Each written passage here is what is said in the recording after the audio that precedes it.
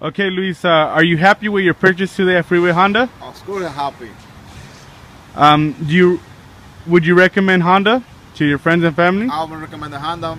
Believe me, I'm gonna do it. And uh, how did Gus treat you today? Gustavo do it. You know, excellent trade, excellent information. Everything is good to him. Excellent. All right. Thank you, Luis. Have a nice day. Congratulations.